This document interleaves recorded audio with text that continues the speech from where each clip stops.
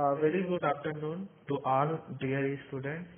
And welcome again to another session of biology class. और आज के क्लास का हमारा जो टॉपिक है वो chapter number eight life process का जो सेकंड पार्ट है जो कंट्रोल एंड कोऑर्डिनेशन नियंत्रण और समन्वय के बारे में आज की क्लास में हम बात करेंगे।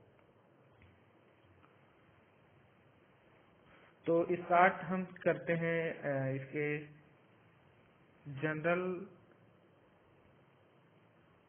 इंट्रोडक्शन सामान्य परिचय से हम शुरुआत करते हैं। तो जनरली हम सब जानते हैं कि संसार के सभी जीव अपने आसपास होने वाले परिवर्तनों के प्रति वो रिस्पांस देते हैं और पर्यावरण में प्रत्येक परिवर्तन की जो अनुक्रिया से एक समुचित गति उत्पन्न होती है और कोई भी गति उस घटना पर निर्भर करती है, जो उसे प्रेरित करती है। जैसे हम गर्म वस्तु को छूते हैं तो हमारा हाथ जलने लगता है और हम तुरंत उस, इसके प्रति अनुक्रिया मतलब जो रिस्पॉन्स करते हैं।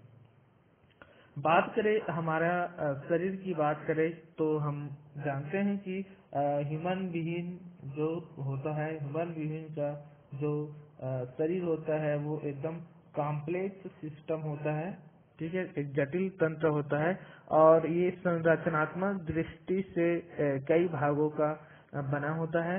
लेकिन इसके सारे भाग किसी कार्य को एक दूसरे के सकारात्मक, जो सहयोग होता है, सकारात्मक सहयोग एवं उनमें व्यवस्थित ढंग से एक साथ कार्य करते हैं। ठीक है?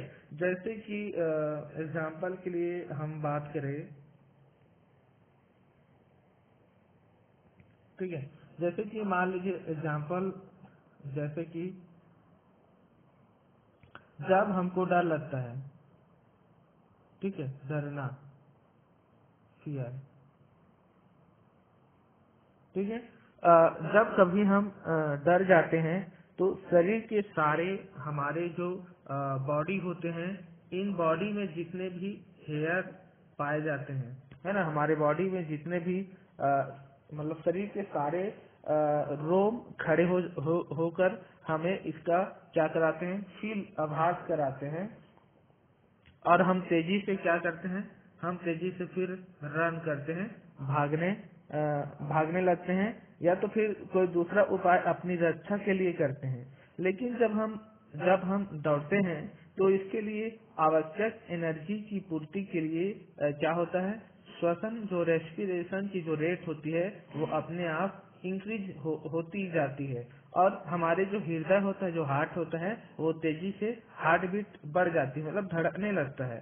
ठीक है? तो ये जितने भी प्रोसेस जो होता है यदि यदि एक भी क्रिया ना हो यदि एक भी क्रिया ना हो तो हम दौड़ने में असफल हो जाएँगे और हो सकता है कि डर पैदा करने वाली घटना से हमारी मृत्यु भी हो जाए, है ना? तो ये जितने भी घटना के समान ही हमारे शरीर के सभी जो कार्य होते हैं, वो क्या होते हैं? कंट्रोल करते हैं और एक दूसरे से क्या करते हैं? वो बैलेंस बनाते हैं, सामंजस्य स्थापित करते हुए ये प्रोसेस। होता है तो उसे ही कहा जाता है कंट्रोल और कोऑर्डिनेशन कहा जाता है। ठीक है? क्या बोलते हैं? नियंत्रण और समन्वय कहते हैं। ठीक है? मतलब हमारे शरीर के सभी कार्य नियंत्रित ढंग से एक दूसरे से सामंजस्य स्थापित करते हैं तो ऐसे ही प्रक्रिया को कहा जाता है नियंत्रण और समन्वय कहा जाता है। ठीक है? अ, हम जंतुओं में ठीक है एनिमल जो होते हैं जो जंतु हैं यदि इस जंतुओं में जो नियंत्रण और समन्वय की जो प्रक्रिया होती है वो दो प्रकार की प्रक्रिया होते हैं ठीक है? एक होता है तं, तं, तंत्रिकी ठीक है? और सेकंड वाला जो होता है वो होता है हार्मोनल ठीक है? तो जो फ़र्स्ट वाला जो होता है, वो होता है न्यूरल क्या बोलते हैं? न्यूरल कंट्रोल एंड कोऑर्डिनेशन और सेकंड वाला जो होता है, वो हार्मोनल कंट्रोल एंड कोऑर्डिनेशन होता है। ठीक है? आप यहाँ से बेसिक समझ गए होंगे, ठीक है?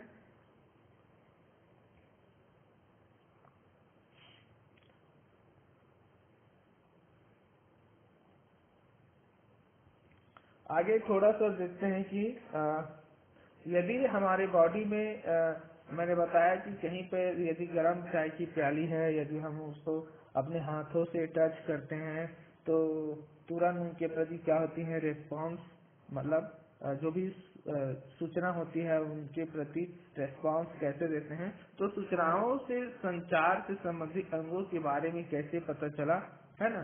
तो इसके बारे में कुछ साइंटिस्ट हुए हैं, जैसे कि सुश्रुत जानते हैं। पहला जो साइंटिस्ट है सुश्रुत, ये सुश्रुत की बात किया जाए तो कई साल पहले, लगभग तीन हज़ार साल पहले की बात करें तो तीन हज़ार साल पहले ये शरीर के कार्यों के नियंत्रण में इन्होंने बताया कि किसका ब्रेन की भूमिका होती है, रोल ऑफ़ ब्रेन। ठीक है? मस्तिष्क की भूमिका होती है और इन्होंने साथ में बताया कि इलाज की प्रक्रिया में जो ब्रेन में जो दर्द का निवारण से लेकर जो स्वेदनहीन जो सेंसरी जो आर्गन होते हैं वो उनमें क्या होते हैं उसको वहाँ से कनेक्ट करते हैं। ठीक है? और हम जानते हैं कि आज भी आयुर्वेद आयुर्वेद जो होता है, उनमें सेंसरी आर्गन और उनसे जो रिलेटेड जो भी ट्रीटमेंट होता है वो सुश्रुत की सहायता से ही उनमें इलाज किया जाता है। सेकंड जो होता है ग्रीस के रहने वाले कुछ साइंटिस्ट ने बताया कि इस ब्रेन के साथ साथ इनमें जो स्पाइनल कार्ड होता है और जो नर्व होते हैं मृजु तंत्रिकाओं की भी इनमें क्या होती है रोल होती है, ऐसा ग्रीस के साइंटिस्टों ने बताया। ठीक है? और उन्हीं ये जो ग्रीस के साइंटिस्ट है ये तीन हज़ार साल पहले जो बताया था वो सुश्रुत ने बताया था। तो इस तीन हज़ार साल के बाद पहले के, उसके बाद में पाँच सौ साल के बाद जो गैलन नामक जो साइंटिस्ट ठीक है मतलब इससे में कौन बताया? ये ग्रीस ने बताया। फिर इसकी के आसपास गैलन नामक साइंटिस्ट ने जब किस एक ट्रीटमेंट कर रहा था, एक मरीज़ का इलाज कर रहे थे तो उन्होंने देखा कि गले के पास चोट लगने से उस मरीज़ के, के हाथ की जो संवेदनाएँ होती है वो खत्म हो गई है है ना? तो उसके उस हाथ में कार्य करने की जो क्षमता थी वो एकदम नॉर्मल हो गई थी ठीक है? तो गैलन ने ऑब्जर्वेशन किया ठीक है? ऑब्जर्वेशन ऑब्जर्वेशन किया और उन्होंने देखा कि सूचनाओं के आगमन की जो प्रक्रिया होती है वो दो दो तरीके से होता है। एक होता है संवेदनाओं के लिए और दूसरा होता है वो प्रतिक्रियाओं के लिए होता है। साथ में गैलन ने ये भी उन्होंने माना कि हमारे शरीर में जो संवेदनाएँ और जो रिस्पांस होती है, वो सभी को कंट्रोल कौन करते हैं। ठीक है, ये जो संवेदना, संवेदनाएँ हैं और ये जो प्रतिक्रियाएँ हैं, इन दोनों को कंट्रोल करने का जो काम करता है, वो हमारा ब्रेन करता है, ये बताया गैलन ने। ठीक है? क्लियर और एक और साइंटिस्ट है स्वान ठीक है? तो स्वान नामक स्वान जो साइंटिस्ट है, ठीक है? इसके बारे में हमने सेल वाले चैप्टर में पढ़े थे क्लास नाइन्थ में, आपको मालूम होगा कि जो स्वान कोशिका सिद्धांत जब इन्होंने दिया था, ठीक है? तो वहाँ पर इन्होंने ऑब्जर्वेशन किया था कि जितने भी संवेदनाएँ जो होती है, उनमें वहन करने वाली जो प्रक्रिया होती है, वो तंत्रिकाओं पर क्या पाए जाते हैं? फैटी जो फैटी जो सेल्स होते हैं, उनमें क्या पाई जाती है? ये लेयर पाई जाती है। वसी कोशिकाओं की उनमें लेयर पाई जाती है। ये बताया था स्वान ने।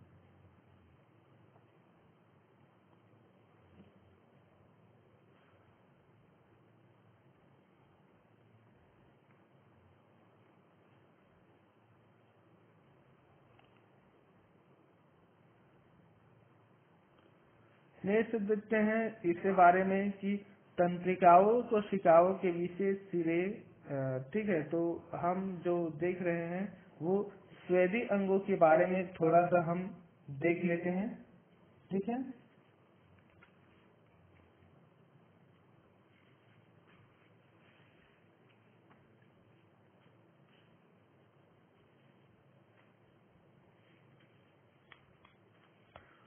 ठीक है तो इसको समझने से पहले एक बार ये समझ लीजिए।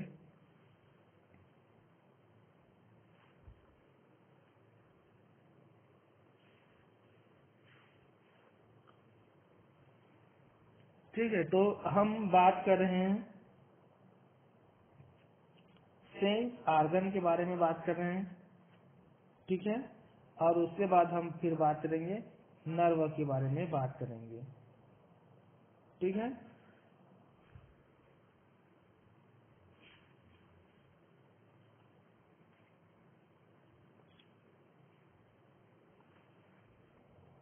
जैसे कि ये ये ब्रेन है। ठीक है? ये क्या है? ब्रेन है। और यहाँ से पूरा जो तंत्रिका होते हैं, यहाँ से जुड़ा हुआ है। मान लीजिए, हमारे हैंड है। हाथ है ये। ठीक है? हाथ से हम किसी चीज़ को छूते हैं, ये गर्म चीज़ को छूते हैं, ठीक है, गर्म चीज़ को छूते हैं। तो यहाँ पर दो प्रकार के होते हैं। एक यहाँ से जो अटैच है और एक यहाँ से जो सूचना भेजते हैं, दो तरह से, ठीक है। तो यहाँ पर वही बताया गया है रिसेप्टर कहा जाता है, ग्राही। तो तंत्रिकाओं कोशिकाओं में एक विशेष सिरे जो पर्यावरण से सभी सूचनाओं तो क्या करते हैं? पता लगाते हैं, उसको ग्राही कहा जाता है। ठीक है? तो जैसे इस वाले में बात किया जाए तो यहाँ पर जो ग्राही कौन हुआ? ये हाथ हुआ। हाथ मतलब यहाँ पर त्वचा हुआ। ठीक है? क्लियर तो इसी तरह यहाँ पर जो ग्राही टाइप्स ऑफ़ रिसेप्टर होते हैं, वो जनरली पाँच प्रकार के संवेदी अंग पाए जाते हैं। एक होता है हमारा आँख, दूसरा होता है कान, तीसरा होता है जीभ, स्वाद के लिए चौथा होता है नाक और पांचवा होता है त्वचा होता है। ठीक है? तो पहला वाला आप देख सकते हैं कि जो आँख होते हैं वो दृष्टि के लिए होते हैं, इसीलिए इसको फ़ोटो रिसेप्टर कहा जाता है। प्रकाश ग्राही होते हमारे आँख होता है, वो प्रकाश को प्रति रिसेप्ट करता है और फिर हमारे आँखों में क्या होते हैं? उस वस्तु के प्रति प्रतिबिंब बनता है। इमेज फिर वो हमको क्या करते हैं? दिखाई देते हैं। ठीक है? इसके बाद सेकंड वाला है, कान होता है, कान के माध्यम से सुनते हैं तो यहाँ पर फोनो रिसेप्टर होते हैं, सुनावर ग्राही होता है, सुनने का काम करते हैं, ठीक है? तीसरा वाला होता है जो जीव होता है, ये स्वाद के लिए होते हैं, इसलिए इसको रस सवेदी ग्राही कहा जाता है कि कोई भी आप कुछ भी चीज़ खाते हैं तो खाते हैं तो उनका स्वाद महसूस होता है, रस रस में स्वाद होता है ना? तो उसके प्रति ये क्या होते हैं? एक रिसेप्टर का रोल निभाते हैं। चौथा होता है नाक तो नाक का काम होता है, सूंघने का काम करता है, इसको ऑल्फेक्टरी रिसेप्टर कहा जाता है। ठीक है? क्योंकि इसमें जो सूंघने का काम होता है, वो नाक हो सकता है कि नाक में कि वो खुशबूदार है, कि वो बदबूदार है। ठीक है? तो सभी गंध के प्रति नाक में रेस्पॉन्स होते हैं, क्योंकि ये ऑल्फेक्टरी रिसेप्टर होते हैं। ठीक है? हीट होता है, उष्मा होते हैं, ताप होता है कभी गर्मी लगती है कभी ठंडी लगती है तो ये सब जो फील होता है, महसूस होते हैं, हमारे त्वचा के माध्यम से होते हैं तो इसलिए इसको थर्मो रिसेप्टर स्पर्श ग्राही कहा जाता है ना? तो इन सभी को क्या कहते हैं? सेंस आर्गन कहा जाता है संवेदी अंग कहा जाता है। ठीक है? क्लियर फॉर एग्ज़ाम्पल के लिए यदि मैं आपको यहाँ पर एक एग्ज़ाम्पल की बात करूँ, ठीक है? एक एग्ज़ाम्पल बताता हूँ। यहाँ पर एक डायग्राम यहाँ पर देख सकते हैं। ये ठीक है? ये होता है कान ये है आई ये है नोज़ और ये है त्वचा और ये है जीव ठीक है? तो मैं आपको एक एग्ज़ाम्पल यहाँ पर बताने वाला हूँ।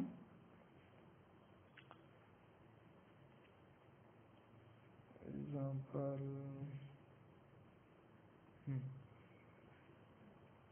जैसे कि ये देख सकते हैं। ठीक है? ये है, आई है ये, आँख है ये। ठीक है? तो फॉर एग्ज़ाम्पल के लिए हम यहाँ पर देख रहे हैं कि जो हमारे आँख होते हैं, ठीक है? और हमारे आँखों के आँखों पे क्या होते हैं? ये जो देख रहे हैं, यहाँ पर क्या लगा रहता है? पर्दा लगा रहता है। पर्दा। जैसे कैमरा होता है ना, कैमरा। जब आप कैमरा है, उस कैमरे में भी पर्दा लगा रहता है। ठीक है? और ये हमने बताया कि क्या होते हैं? ये फोनो फोनो रिसेप्टर होते हैं। ये हमारे जो आई होता है, वो क्या होते हैं? फोनो रिसेप्टर होता है। ठीक है? और और ये जो आई होते हैं, इनका जो सेल्स होते हैं, वो इंटरनल पार्ट से, ठीक है? ये नर्व जो सेल होते हैं न्यूरॉन होते हैं, वो पूरा हमारे जो ब्रेन होते हैं ब्रेन मस्तिष्क से क्या होते हैं? ये जुड़ा हुआ रहता है। ठीक है? क्योंकि सेल्स जो होते हैं वो ब्रेन से जुड़ा हुआ रहता है। ठीक है? और वहाँ से उसको पूरा क्या करते हैं? वो कंट्रोल किया जाता है। ठीक है? बात चाहे वो आ, ये हमारे आँख की आँख की बात हो। ठीक है? या तो फिर हम बात करें जो नाक होते हैं कान होते हैं इन सभी एक सभी जो कंट्रोल जो होता है, वो ब्रेन से ही होता है। ठीक है? जैसे हम ये बात करें, ये कान है, ठीक है? तो यहाँ पर भी देख सकते हैं कि ये ये कान है। कान कान का काम होता है, सुनने का काम होता है। तो ये भी पूरा कहाँ से रहता है? ब्रेन से अटैच रहता है।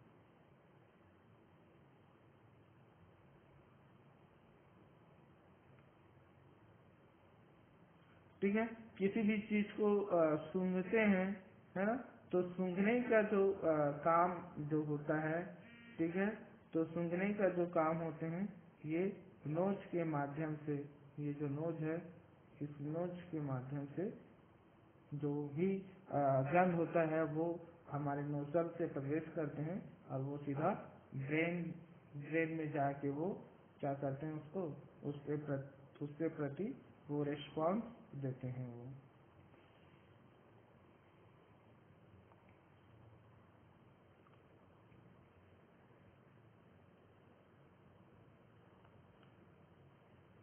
तो ये हुआ जनरली जो हमने यहाँ पर देखा कि किस तरह से यहाँ पर क्या होते हैं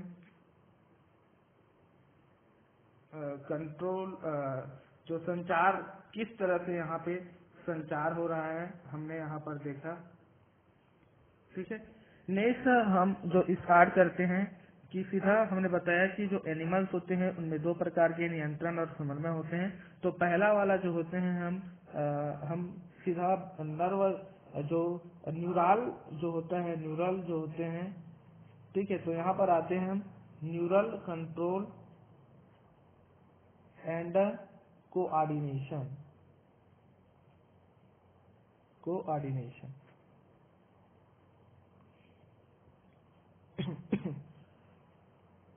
यहाँ पर एक डायग्राम ले लेता हूँ मैं पहले से।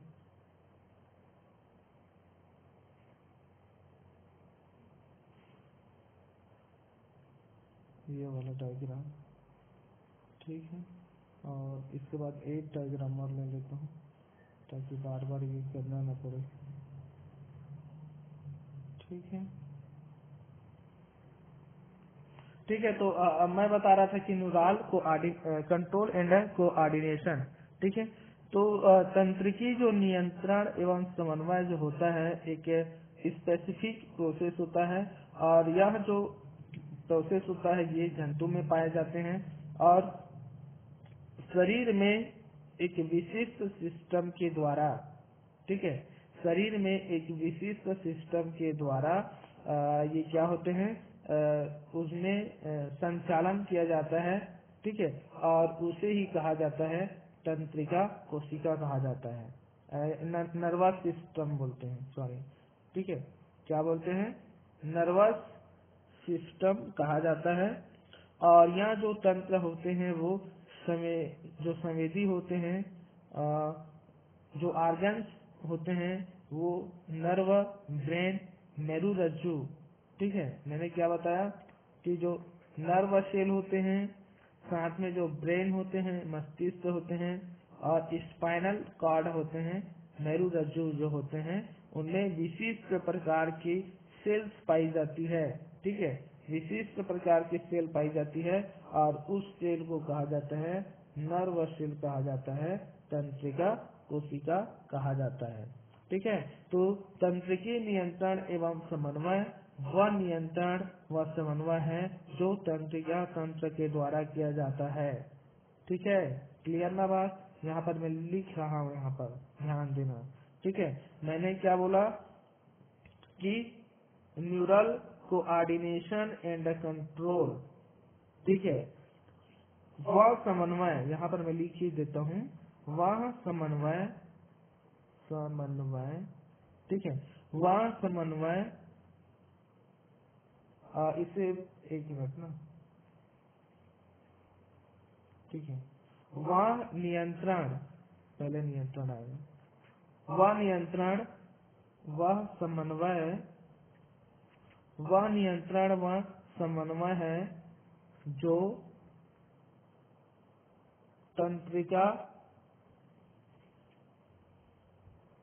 तंत्र के द्वारा ठीक है?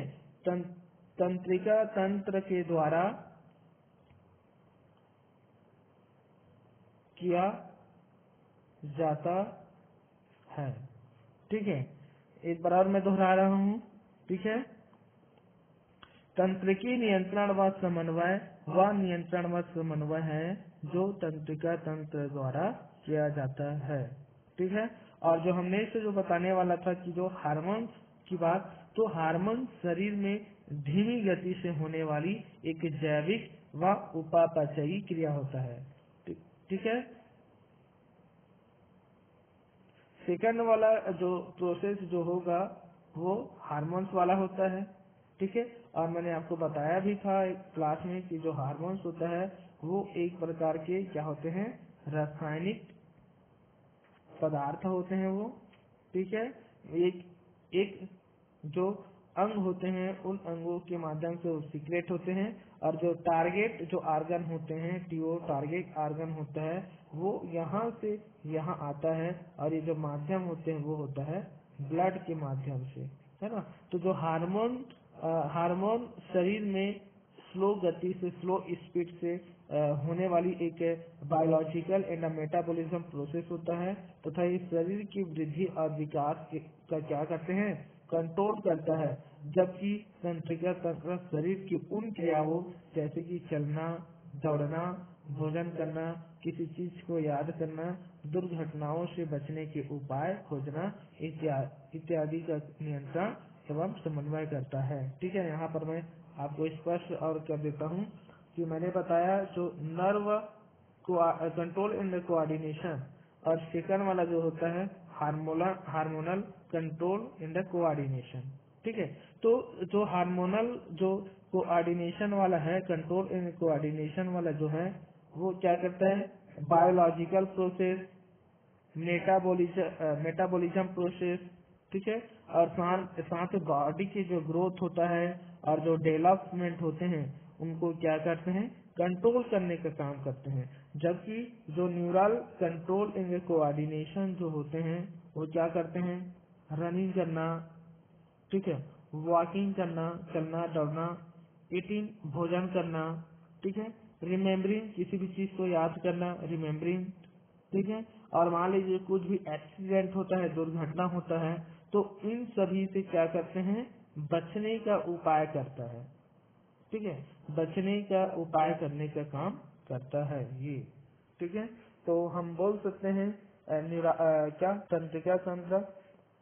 तो वह तंत्र जो सोचने समझने किसी चीज़ को याद रखने के लिए रखने के साथ साथ शरीर के विभिन्न अंगों ठीक है? शरीर के विभिन्न अंगों के कार्यों में सामंजस्य तथा संतुलन स्थापित करते हैं। तो उसे क्या बोलते हैं? तंत्रिका तंत्र कहा जाता है। ठीक है? तो यहाँ पे और मैं ज़्यादा नहीं लूँगा। ठीक है? अब इसके बाद हम शुरू करते हैं।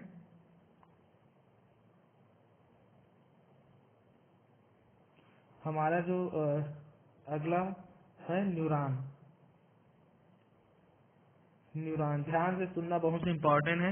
ये अभी 2020 के फाइनल एग्ज़ाम में आया है लेकिन आएगा तो नहीं इस बार आने की संभावना नहीं है, लेकिन फिर भी हम इसको पढ़ लेते हैं, क्योंकि मल्टीपल चॉइस में भी आने की संभावना होती है। ठीक है?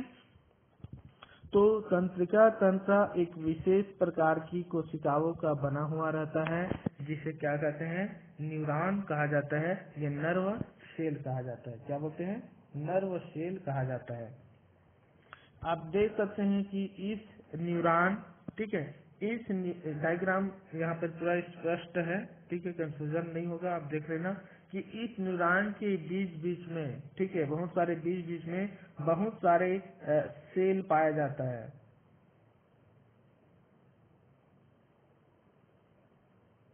ठीक है? बहुत सारे क्या पाए जाते हैं? सेल्स वगैरह पाए जाते हैं। इस डायग्राम में आप यदि इस डायग्राम को देखें, ठीक है? तो डायग्राम देख रहे हैं। तो दिख रहा है कि इनके ये वाला जो पार्ट है, यहाँ पर क्या है? केंद्रक है। ठीक है? यहाँ पर कोशिका साइड ये वाला जो हिस्सा है, ठीक है? इसे न्यूरोप्लाज्म कहते हैं। कोशिका काय होता है, ठीक है? और यहाँ पर ये जो लिखा है ना द्रोमिका द्रोमिका का मतलब होता है डेंड्राइट्स होता है। ठीक है? क्या बोलते हैं? डेंड्राइट्स होते हैं। ठीक है? और ये वाला जो हिस्सा है, उसको एक्सान कहा जाता है इंग्लिश में। ठीक है? एक्सान एक मिनट ना इंग्लिश वाला एक डायग्राम था मेरे पास, और इंग्लिश वाला निकालता हूँ। इंग्लिश वाला डायग्राम।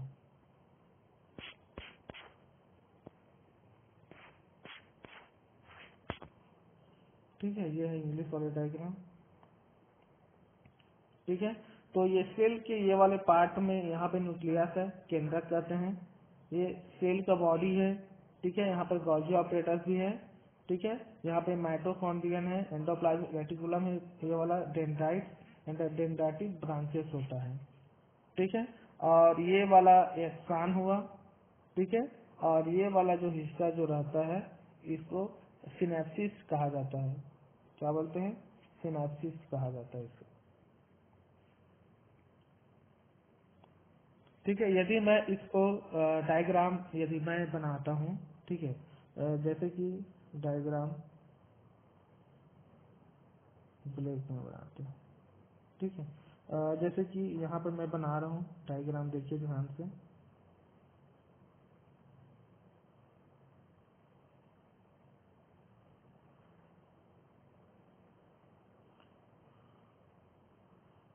ठीक है हासिनाबाद ये ब्लैक बोर्ड नहीं है। लेकिन फिर भी यहाँ पे मैं बना रहा हूँ डायग्राम हँसते बहुत हो आप लोग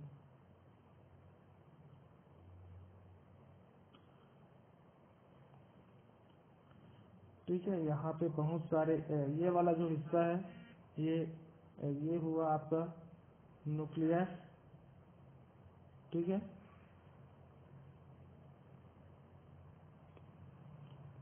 ये नर्वस है। और यहाँ से जुड़ा हुआ है ये ऐसा।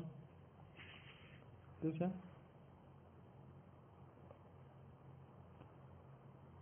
ये ऐसा हुआ। तो ये वाला जो हिस्सा है, इसको बोलते हैं सिनेप्सिस कहते हैं। ठीक है? और यहाँ से फिर और बहुत सारे ऐसा जुड़ा हुआ रहता है। ठीक है? दूसरा वाला जो होता है वो यहाँ से जुड़ा हुआ रहता है। ठीक है? और इनके बीच बीच में एक न्यूरोलेमा पाया जाता है। ठीक है? ऐसा। बीच बीच में क्या पाया जाता है? न्यूरोलेमा पाया जाता है। ऐसा, न्यूरोलेमा। ठीक है? और यहाँ पर कोलेट्रल फाइबर पाया जाता है। ये वाले हिस्सा में कोलेट्रल फाइबर होते हैं और यहाँ से जुड़ा हुआ रहता है। और यहाँ पर जो मसल्स होते हैं, ये मसल्स से फिर क्या होते हैं? ये अटैच होते हैं ये वाला होता है मसल्स ठीक है तो ये इस डायग्राम में आगे हम, मैं यहाँ पर डील करता हूँ। ठीक है तो यहाँ पर बताया कि जो नर्व सेल होता है, ये वाला हिस्सा होता है, वो साइटन होता है, कोशिका काय कहा जाता है, और इनमें ये डेंड्राइट्स होते हैं, जो एक दूसरे से क्या होते हैं जुड़े हुए रहते हैं और एक ये वाला जो होता है, वो एक्सान होते हैं और ये दूसरे वाले से यहाँ से क्या होते हैं? जुड़े हुए रहते हैं। तो ये वाला जो हिस्सा होता है, वो सिनेप्सिस कहा जाता है। ठीक है? तो इस प्रकार जो तंत्रिका कोशिकाएँ आपस में जुड़कर एक तंत्रिका उतक या नर्व टिश्यू का फॉर्मेशन करते हैं। तो हम बोल सकते हैं कि जो तंत्रिका तंत्र की क्रियात्मक इकाई तंत्रिका कोशिका ही है। ठीक है? तो तंत्रिका जो तंत्र होते हैं, वो कई भागों से बना हुआ रहता है और इसका जो भाग होता है, वो सेंट्रल न्यूरॉन सिस्टम इसको कहा जाता है। ठीक है? तो जब हमारे शरीर के बाहर या कोई भी अंदर कोई भी परिवर्तन या क्रिया होती है तो ये संसरी आर्गन क्या होते हैं? संसरी जो आर्गन होते हैं वो उनसे प्रभावित होते हैं और सूचनाओं को क्या करते हैं, वो ब्रेन के पास या मेरे रज्जु को वो दे देते हैं। ठीक है, फिर ये बाह्य जो इंटरनल जो चेंजेस होता है, ठीक है, यहाँ पर थोड़ा मैं लिख देता हूँ। ठीक है, कि मैंने क्या बताया कि मान लीजिए ये हमारा बॉडी है। ठीक है, ये हमारा बॉडी है। एक मिनट इसको मिटाता हूँ। ठीक है मान लीजिए ये हमारा ब्रेन है। बॉडी का हिस्सा है ठीक है ब्रेन है। आ, तो ब्रेन है ठीक है। यहाँ पर मैंने पाँच सेंसरी आर्गन ले लेता हूँ one two three four five ठीक है। मान लीजिए ये हमारे आई है ये हमारे नोज़ है और ये हमारे ईयर है कान है ठीक है। और ये हमारे आ, क्या है हैंड हुआ और ये हमारा हुआ टंग हुआ जीभा। ठीक है, ये सभी सेंसरी आर्गन है। सल्फ़र ऑक्साइड मत बोलना तो ठीक है, ये सेंसरी आर्गन है, ठीक है। तो कोई भी परिवर्तन इंटरनल या एक्सटर्नल रूप से कोई भी परिवर्तन यदि हमारे बॉडी में होता है, ठीक है तो जो सूचनाएँ जो होती है, जो भी इंफॉर्मेशन होती है, वो कहाँ पहुँच जाती है? इस ब्रेन में पहुँच जाती है, ठीक है कहाँ पे पहुँचती है ब्रेन में पहुँचती है। या तो फिर ब्रेन और यहाँ पे मालूम है ब्रेन है तो नीचे वाले हिस्सा पे यहाँ पे स्पाइनल कॉर्ड पाया जाता है मेरुरज्जु होता है। ठीक है? तो उसको वो देता है। ठीक है? तो ये एक्सटर्नल और इंटरनल जो भी परिवर्तन हो रहा है, उनको क्या बोलते हैं? एक उद्दीपन होता है। स्टीमूली कहते हैं इसको इंग्लिश में। स्टीमूली क्या होते हैं? उद्दीपन उद्दीपन होते हैं। और उन उद्दीपनों को कौन ग्रहण करता है? ये जो सेंसरी जो आर्गन होते हैं वो उनको ग्रहण कर लेते हैं, ठीक है? तो इसी, यही स्वेदी अंग है, ज्ञानेन्द्रिया कहते हैं, ठीक है? तो प्रत्येक जो स्वेदी जो अंग होते हैं, जैसे कि ये टंग है, और ये जो हमारी त्वचा है हैंड वाले हिस्सा मान लीजिए त्वचा स्किन है, ये हमारे कान है, ये हमारे नोज़ है नाक है, और ये हमारे जो आँख है, ठीक है? वो चाहिए? ग्रहण करिए और ग्रहण करने के बाद उसको प्रसार कर देता है। ठीक है? और उन उद्दीपनों को शरीर के विभिन्न भागों में क्या करते हैं? पहुंचाते हैं। तो सेंसरी जो नर्व या सेंसरी नर्व फाइबर मैंने बताया था यहाँ पर डायग्राम में। ठीक है? ये सेंसरी यहाँ पे फाइबर है पेशी में जुड़ा हुआ रहता है अटैच रहता है, ये बताया था मैंने। ठीक है? तो वो फाइबर में पहुँचा देते हैं।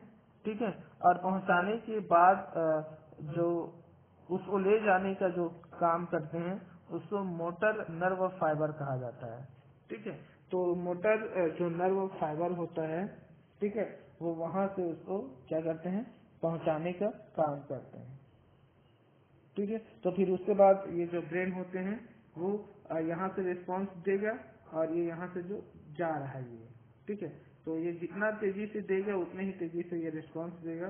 फिर उसके बाद हमारा जो हाथ होता है, वो जलने से, मान लीजिए तो जलने से वो क्या हो जाते हैं? वो बच जाते हैं। ठीक है? तो यहाँ पर यदि आप लोग कंफ्यूजन जब हो रहे होंगे, मुझे मालूम है, ये वाले ये वाले जो पॉइंट है ना, यहाँ पे आप लोग कंफ्यूजन हो रहे हैं। ठीक है? तो इस कंफ्यूजन को दूर करने के लिए मैं और एक शॉर्ट कट और बता रहा हूँ आपको। ठीक है? मैंने क्या बताया कि ये neural control and coordination system है ये। ठीक है? है ये। और ये जो है मुझे यहाँ पे तीन तीन पार्ट बहुत इंपॉर्टेंट है याद रखिए। एक हुआ हमारे सेंसरी आर्गन जो मैंने अभी आपको बताया, ये है सेंसरी आर्गन ठीक है? और इस सेंसरी आर्गन में क्या है? हमारा आई है, हमारा नोज़ है, हमारा ईयर है, कान है, और हमारा टंग है, और हमारे त्वचा है। मान लीजिए हाथ तो त्वचा मान लेते हैं, ये है। ये पहला पार्ट हुआ, ठीक है? और दूसरा जो पार्ट है ठीक है वो क्या करते हैं इससे जो भी प्रभावित होते हैं तो यहाँ पे क्या होते हैं जो भी उद्दीपन बताया तो ये जो स्वेदी अंग होते हैं वो ब्रेन तक पहुँचाने का काम करते हैं ना तो उसको कहा जाता है मोटर बोलते हैं इसको मोटर। मोटर आ, मोटर बोले तो हिंदी में हाँ प्रेरक कहते हैं ठीक है। तो ये क्या करता है उसको? ट्रांसमिट कर रहा है ना? ट्रांसमिट सिस्टम बोल सकते हो उसको। संचार तंत्र है ये। शरीर में पाए जाने वाले जो भी ये जो सिस्टम होते हैं तंत्रिकाएँ हैं, ठीक है, वो, ये इनके द्वारा जो उद्दीपन है, उनको ब्रेन तक पहुँचा रहा है ना? ब्रेन तक मेरुरज्जु तक मेरुरज्जु मतलब यहाँ पे लेके आती है उसको ठीक है? तो ये हुआ, मोटर वाला हुआ ठीक है? और तीसरा वाला जो हुआ, उसको कहा जाता है इफेक्टर्स कहा जाता है। इफेक्टर्स मतलब होता है जो अंग जो शरीर शरीर की वे रचनाएँ जो ब्रेन और स्पाइनल कॉर्ड से प्राप्त निर्देशों को कार्य के रूप में वो देते हैं। ठीक है? उसे कहा, उसे ही बोलते हैं इफेक्टर्स कहते हैं। तो इफेक्टर्स में कौन हुआ? जैसे हमारे हमारे शरीर की बात किया जाए तो हमारे में जो इफेक्टर्स जो हुआ है, वो हुआ मसल्स मसल्स होता है ग्लैंड वगैरह होते हैं, वो सब क्या होते हैं? और वो इफेक्टर्स होते हैं। ठीक है? क्लियर इसके बाद है फ़ंक्शन ऑफ़ नर्वस सिस्टम ठीक है? तो पहला फ़ंक्शन ये है कि ये शरीर के सभी भागों एवं अंगों को क्रियाओं को क्रियाओं को क्या करता है रेगुलेशन करता है। क्रियाओं का रेगुलेशन ठीक है? और ये शरीर के विभिन्न अंगों, सेकंड वाला जो होता है, वो शरीर के विभिन्न अंगों, टिश्यू और त्वचा के कार्यों में क्या करता है? कोऑर्डिनेशन करता है वो। ठीक है? और तीसरा वाला जो होता है सेंसरी आर्गन के माध्यम से एक्सटर्नल जो भी परिवर्तन होता है, उनको ग्रहण करता है। ठीक है? साथ में जो चौथा, जो प्रतिवर्ती जो क्रिया होते हैं, प्रतिवर्ती जो क्रिया होते हैं उनको उनके माध्यम से हमारी क्या करते हैं? रक्षा करता है। ठीक है? तो आ, ये टॉपिक यहीं तक पूरा करते हैं। ठीक है? थैंक यू और आपको जो भी डाउट होगा तो आप पूछ लेना। ठीक? Thank you